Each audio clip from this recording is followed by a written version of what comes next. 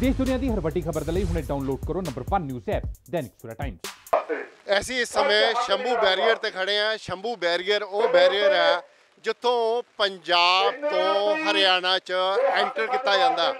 ਇਹ last barrier ਹੈ। ਇਸ ਤੋਂ ਬਾਅਦ ਅੱਗੇ ਹਰਿਆਣਾ ਸ਼ੁਰੂ ਹੋ ਜਾਂਦਾ। ਔਰ ਪੰਜਾਬ ਦੇ ਕਿਸਾਨ ਨਹੀਂ ਬਲਕਿ ਦੇਸ਼ ਭਰ ਦੇ ਕਿਸਾਨਾਂ ਨੇ ਖੇਤੀ ਬਿੱਲਾਂ ਦੇ ਵਿਰੋਧ ਵਿੱਚ ਐਲਾਨ ਕੀਤਾ ਹੋਇਆ ਹੈ ਕਿ 26 27 ਤਰੀਕ ਨੂੰ ਉਹਨਾਂ ਨੇ ਦਿੱਲੀ ਘੇੜਨੀ ਹੈ ਦਿੱਲੀ ਜਾ ਕੇ ਡੇਰਾ ਡਾਲਣਾ ਹੈ। ਔਰ ਬਹੁਤ ਭਾਰੀ ਸੰਖਿਆ 'ਚ ਕਿਸਾਨ ਵੱਖ-ਵੱਖ ਜ਼ਿਲ੍ਹਿਆਂ, ਪੰਜਾਬ ਦੇ ਵੱਖ-ਵੱਖ ਜ਼ਿਲ੍ਹਿਆਂ ਤੋਂ ਚੱਲੇ ਹੋਏ ਨੇ ਔਰ ਸ਼ੰਭੂ ਬੈਰੀਅਰ ਹੋ ਕੇ ਉਹਨਾਂ ਨੇ ਦਿੱਲੀ ਵੱਲ ਕੂਚ ਕਰਨਾ ਅਸੀਂ ਸ਼ੰਭੂ ਬੈਰੀਅਰ ਹੈ, ਸ਼ੰਭੂ ਬੈਰੀਅਰ 'ਚ ਕਿਸਾਨਾਂ ਲਈ ਬਹੁਤ ਭਾਰੀ ਇੰਤਜ਼ਾਮ ਕੀਤਾ ਹੋਇਆ। ਸਾਡੇ ਨਾਲ ਸ਼ੰਭੂ ਬੈਰੀਅਰ ਦਾ ਜਿਹੜਾ ਇੰਤਜ਼ਾਮ ਸੰਭਾਲ ਰਹੇ ਆ, ਉਹ ਲੋਕ ਆ, ਉਹਨਾਂ ਨਾਲ ਗੱਲਬਾਤ ਕਰਦੇ ਆ। ਇਹ ਵੀ ਕਿਸਾਨ ਜਥੇਬੰਦੀਆਂ ਨਾਲ ਜੁੜੇ ਹੋਏ ਨੇ ਵੀ ਇੱਥੇ ਕਿਸ ਤਰ੍ਹਾਂ ਦੇ ਇੰਤਜ਼ਾਮ ਨੇ। ਸਰ, ਮੈਂ ਸੋਥੋਂ ਇਹ ਜਾਨਣਾ ਚਾਹਨਾ ਕਿਸਾਨ ਬਹੁਤ ਭਾਰੀ ਸੰਖਿਆ 'ਚ ਤੁਰੇ ਹੋਏ ਆ। ਇੱਥੇ ਹੋ ਕੇ ਉਹਨਾਂ ਨੇ ਅੱਗੇ ਜਾਣਾ। ਇੱਥੇ ਕਿਸ ਤਰ੍ਹਾਂ ਦੇ ਇੰਤਜ਼ਾਮ ਨੇ? ਦੇਖੋ, ਇੰਤਜ਼ਾਮ ਤਾਂ ਅਸੀਂ ਪੂਰੇ 55 ਦਿਨ ਤੋਂ ਇੱਥੇ ਬੈਠੇ ਆਂ ਔਰ ਸਾਡੇ ਰੈਗੂਲਰ ਇੰਤਜ਼ਾਮ ਹੈਗੇ ਆ ਹਜ਼ਾਰਾਂ ਦੀ ਤਦਾਦ ਦੇ ਵਿੱਚ ਪੰਜਾਬ ਤੋਂ ਲੋਕ ਆ ਕੇ ਉਰੇ ਆਪਣੀ ਗੱਲ ਕਹਿ ਕੇ ਜਾਂਦੇ ਸੀਗੇ। ਔਰ ਉਸੇ ਤਰ੍ਹਾਂ ਸਾਨੂੰ ਪਤਾ ਸੀ ਕਿ ਕਿਸਾਨਾਂ ਨੇ ਹਜ਼ਾਰਾਂ ਦੀ ਤਦਾਦ 'ਚ ਹੋਰ ਆਉਣਾ ਅਸੀਂ ਉਹ ਇੰਤਜ਼ਾਮ ਵਧਾ ਲਏ, ਜਿਵੇਂ ਹੁਣ ਬਾਰਿਸ਼ ਦਾ ਮੌਸਮ ਸੀਗਾ ਵਾਟਰਪ੍ਰੂਫ ਟੈਂਟ ਲਾਤਾ ਤੇ ਲੰਗਰ ਦਾ ਇੰਤਜ਼ਾਮ ਵਧਾ ਲਿਆ। ਲੇਕਿਨ ਸਾਡਾ ਵੀ ਪ੍ਰੋਗਰਾਮ ਜਿਹੜੇ ਲੋਕ ਸਾਡੇ ਕੋਲ ਆਉਂਦੇ ਸੀ, ਉਹਨਾਂ ਦੇ WhatsApp ਨੰਬਰ ਮੋਬਾਈਲ ਨੰਬਰ ਸਾਡੇ ਕੋਲ ਸੀਗੇ। ਔਰ ਅਸੀਂ ਉਹਨਾਂ ਨੂੰ ਸਾਰਿਆਂ ਨੂੰ ਮੈਸੇਜ ਕੀਤੇ ਆ, ਉਹ ਵੀ ਇੱਥੇ ਪਹੁੰਚ ਰਹੇ ਆ। ਸਾਡਾ ਪਹਿਲਾ ਪ੍ਰੋਗਰਾਮ ਤਾਂ ਕਿਸਾਨ ਜਥੇਬੰਦੀਆਂ ਨਾਲ ਦਿੱਲੀ ਜਾਣ ਦਾ ਦੀਪ ਸਿੱਧੂ ਜੀ ਵੱਲੋਂ ਕੱਲ ਵੀ ਮੈਸੇਜ ਕੀਤਾ ਗਿਆ। ਕੱਲ ਉਹਨਾਂ ਨੇ ਕਿਹਾ ਵੀ ਗਿਆ ਇੰਟਰਵਿਊ ਵਗੈਰਾ 'ਚ ਕਿ ਅਸੀਂ ਵੀ ਕਿਸਾਨ ਯੂਨੀਅਨਾਂ ਦੇ ਨਾਲ ਪਿੱਛੇ ਲੱਗ ਕੇ ਉਹਨਾਂ ਨਾਲ ਦਿੱਲੀ ਜਾਣਾ ਹੈ। ਲੇਕਿਨ ਜਿਵੇਂ ਅੱਜ ਪਤਾ ਲੱਗ ਰਿਹਾ ਹੈ, ਖੱਟਰ ਸਰਕਾਰ ਨੇ ਅੱਗੇ ਬੈਨ ਕੀਤਾ ਜੇਕਰ ਕੋਈ ਉਹੀ ਜੀ ਪਰਿਸਥਿਤੀ ਬਣ ਗਈ, ਤਾਂ ਉਰੇ ਜਿੰਨੇ ਵੀ ਕਿਸਾਨ ਭਾਵੇਂ 10 ਵੀ 30 ਹਜ਼ਾਰ, ਤਾਂ ਉਹ ਅਸੀਂ ਸਮੇਂ ਮੁਤਾਬਕ ਹੋਰ ਵੀ ਵਧਾਵਾਂਗੇ, ਕਿਉਂਕਿ ਸਾਰਾ ਸੰਗਤ ਕਰ ਰਹੀ ਹੈ, ਅਸੀਂ ਤਾਂ ਕਰ ਨਹੀਂ ਰਹੇ। ਇਹ ਸਾਰਾ ਇੰਤਜ਼ਾਮ ਸੰਗਤ ਦਾ ਪਲੇਟਫਾਰਮ 55 ਦਿਨ ਹੋ ਗਏ ਚੱਲ ਰਿਹਾ ਸੋ ਅਸੀਂ ਮੈਡੀਕਲ ਦਾ, ਦਵਾਈਆਂ ਦਾ, ਲੰਗਰ ਦਾ ਹੋਰ ਸਟੇਜ ਲੱਗੀ ਹੋਈ ਹੈ। ਫਿਰ ਜਿਵੇਂ ਜਿਵੇਂ ਮੌਕੇ ਤੇ ਹੋਰ ਬਣੀ ਜਾਊਗਾ ਅਸੀਂ ਹੋਰ ਕਰਾਂਗੇ, ਲੇਕਿਨ ਅਸੀਂ ਹਜ਼ਾਰਾਂ ਦੀ ਤਾਦਾਦ 'ਚ ਵੀ ਜੇ ਕਿਸਾਨ ਆਉਣਗੇ ਤਾਂ ਉਹਨਾਂ ਲਈ ਵੀ ਅਸੀਂ ਇਹ ਇੰਤਜ਼ਾਮ ਕਰ ਲਿਆ ਜੀ। ਜਿਹੜੇ ਹਜ਼ਾਰਾਂ ਦੀ ਸੰਖਿਆ 'ਚ ਕਿਸਾਨ ਆਣਗੇ ਤੇ ਮਤਲਬ ਕਿ ਉਹ ਕਿਉਂਕਿ ਜਿਹੜਾ ਇਹ ਧਰਨਾ ਚੱਲਣਾ ਇਹ ਅਣਮਿੱਥੇ ਸਮੇਂ ਲਈ ਚੱਲਣਾ ਇਹ ਤਾਂ ਹੈ ਨਹੀਂ ਕੋਈ ਵੀ ਹਾਂ, ਇੱਕ ਦਿਨ 'ਚ ਨਿਬੜ ਜੂਗਾ ਜਾਂ ਦੋ ਦਿਨ 'ਚ ਨਿਬੜ ਜੂਗਾ, ਇਹ ਤਾਂ ਅਣਮਿੱਥੇ ਟਾਈਮ ਲਈ ਆ ਔਰ ਉਸ ਦੀ ਕੋਈ ਲਿਮਿਟ ਨਹੀਂ ਹੈ, ਚਾਹੇ 2 ਮਹੀਨੇ ਬਹਿਣਾ ਪੈ ਜਾਏ, ਚਾਹੇ 15 ਦਿਨ 'ਚ ਪ੍ਰੋਬਲਮ ਸੋਲਵ ਹੋ ਜਾਏ, ਬਈ ਕੋਈ, ਤੇ ਉਸ ਤਰ੍ਹਾਂ ਦੇ ਲਈ ਖਾਣ ਪੀਣ ਦਾ, ਕਿਉਂਕਿ ਬਾਰਿਸ਼ ਦਾ ਮੌਸਮ ਹੈ, ਠੰਡ ਦਾ ਮੌਸਮ ਹੈ, ਬਿਸਤਰੇ ਵੀ ਚਾਹੀਦੇ ਆ, ਉੱਪਰ ਰਜਾਈ ਵੀ ਚਾਹੀਦੀ ਆ, ਹਰ ਤਰ੍ਹਾਂ ਦੀ ਲੋੜ ਪੈਣੀ ਆ। ਤੇ ਆਪਾਂ ਜਦ ਇਸ ਤਰ੍ਹਾਂ ਦਾ, ਔਰ ਸੰਖਿਆ ਜਿਹੜੀ ਆ, ਉਹ ਵੀ ਕੋਈ ਥੋੜੀ ਨਹੀਂ ਹੈ ਸੰਖਿਆ ਬਹੁਤ ਜ਼ਿਆਦਾ ਹਜ਼ਾਰਾਂ ਚ ਪਹੁੰਚਣਾ ਕਿਸਾਨਾਂ ਨੇ। ਤਾਂ ਇਸ ਤਰ੍ਹਾਂ ਦਾ ਜਿਹੜਾ ਨਾਜ਼ੁਕ ਵਕਤ ਹੈ, ਉਸ ਲਈ ਤੁਹਾਡੇ ਵੱਲੋਂ ਕਿਸ ਤਰ੍ਹਾਂ ਦੇ ਇੰਤਜ਼ਾਮ ਨੇ? ਦੇਖੋ ਸਰ, ਇਹ ਜਿਹੜਾ ਇਹ ਜਿਹੜਾ ਹਲਕਾ ਹੈ, ਇਹ ਘਨੌਰ ਹਲਕਾ ਹੈ ਇਸੇ ਹਲਕੇ ਦੇ ਵਿੱਚ ਇੱਥੋਂ 8 ਕਿਲੋਮੀਟਰ ਦੂਰ ਕਪੂਰੀ ਪਿੰਡ ਹੈ। ਜਦੋਂ ਐਸਵਾਈਐਲ ਦਾ ਮੋਰਚਾ ਲੱਗਿਆ ਸੀ, ਉਹ ਇਸੇ ਹਲਕੇ 'ਚ ਕਪੂਰੀ ਪਿੰਡ ਲੱਗਿਆ ਸੀ। ਤੇ ਇਹ ਵੀ ਮੋਰਚਾ ਸ਼ੰਭੂ ਬਾਰਡਰ ਹੈ, ਇਹ ਵੀ ਇੱਥੇ ਲੱਗਿਆ ਹੈ। ਤੇ ਸਾਨੂੰ 55 ਦਿਨ ਹੋ ਗਏ ਇੱਥੇ ਬੈਠਿਆਂ ਨੂੰ। ਜਦੋਂ ਹੁਣ ਪਹਿਲਾਂ ਹੀ ਡੇਢ ਮਹੀਨਾ ਹੋ ਗਿਆ ਤੇ ਹਜ਼ਾਰਾਂ ਦੀ ਤਾਦਾਦ 'ਚ ਜੇ ਕਿਸਾਨ ਆਉਣਗੇ, ਤਾਂ ਹਲਕੇ ਘਨੌਰ ਵੱਲੋਂ, ਨਾਲ ਲੱਗਦੇ ਹਲਕਿਆਂ ਵੱਲੋਂ ਉਹਨਾਂ ਦੇ ਲਈ ਪੂਰਾ ਬੰਦੋਬਸਤ ਕੀਤਾ ਜਾਏਗਾ ਔਰ ਮੋਰਚਾ ਇਹ ਪੰਜਾਬੀਆਂ ਦਾ ਹੈ, ਇਹ ਕੋਈ ਸਾਡਾ ਤਾਂ ਹੈ ਨਹੀਂ। ਅਸੀਂ ਰਲ ਮਿਲ ਕੇ ਸਾਰੇ ਉਹਦਾ ਬੰਦੋਬਸਤ ਕਰਾਂਗੇ। ਪ੍ਰਮਾਤਮਾ ਨੂੰ ਵੀ ਅਰਦਾਸ ਹੈ, ਜਿਵੇਂ ਅੱਜ ਬਾਰਿਸ਼ ਦਾ ਮੌਸਮ ਹੈ, ਕਿ ਪ੍ਰਮਾਤਮਾ ਸਾਡਾ ਸਾਥ ਦੇਵੇ।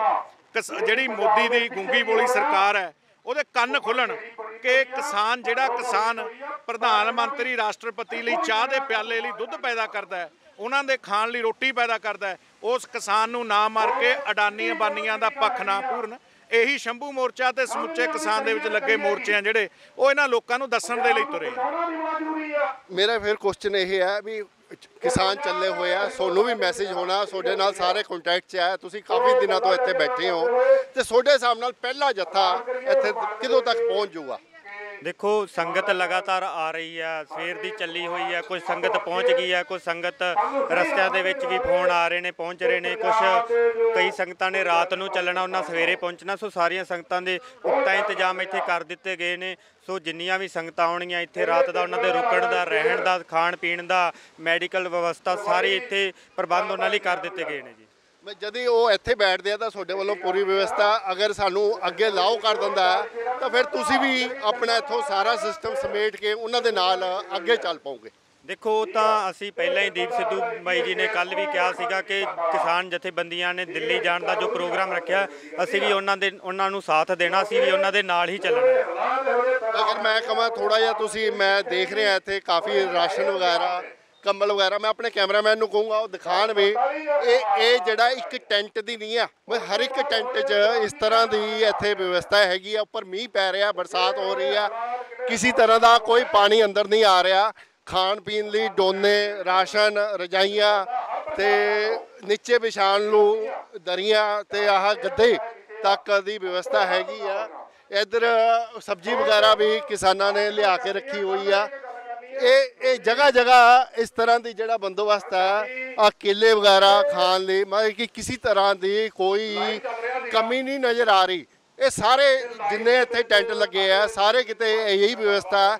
ਔਰ ਪ੍ਰਬੰਧਕਾਂ ਦਾ ਕਹਿਣਾ ਜਿਸ ਤਰ੍ਹਾਂ ਇਹ ਖਤਮ ਹੁੰਦਾ ਜਾਏਗਾ, ਹੋਰ ਜਿਹੜਾ ਸਮਾਨ ਹੈ, ਇਸੇ ਤਰ੍ਹਾਂ ਇੱਥੇ ਆਂਦਾ ਜਾਏਗਾ।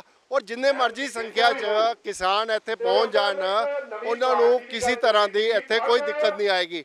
ਇਹਨਾਂ ਦਾ ਇਹ ਵੀ ਕਹਿਣਾ ਪ੍ਰਬੰਧਕਾਂ ਦਾ, ਜਦੀ ਦਾ ਹਰਿਆਣਾ ਬਾਰਡਰ ਖੋਲ ਦਿੱਤਾ, ਪੁਲਿਸ ਨੇ ਨਾ ਰੋਕਿਆ, ਤਾਂ ਦਾ ਇਹ ਆ ਸਾਰਾ ਟੈਂਟ ਔਰ ਸਮਾਨ ਨਾਲ ਚੱਕ ਕੇ ਕਿਸਾਨਾਂ ਨਾਲ ਅੱਗੇ ਦਿੱਲੀ ਕੂਚ ਕਰਨਗੇ।